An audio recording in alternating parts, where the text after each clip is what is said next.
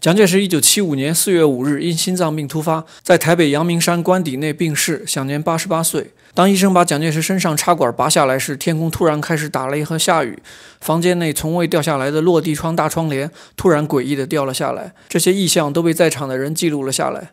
蒋介石去世的消息传到中国大陆，中共一片欢呼，这个老冤家总算走了。但只有一个人不掩饰内心的些许悲伤，这个人就是毛泽东。毛泽东特意打开录音机，一边听着宋朝词人张元干的词《贺新郎》，一边用手打着拍子。这首词的第一句是“目尽青天怀古今，肯儿曹恩怨相耳辱”，意思是你我都是胸怀天下的人，又怎么会在那些个人恩怨上纠结呢？抛去成败，这里毛表达了对蒋的敬意，算是对这位老对手的送别，并将这首词的最后一句“举大白，听金缕”改为了“君且去，不须顾”。蒋介石一九三零年代追着毛泽东和中共打。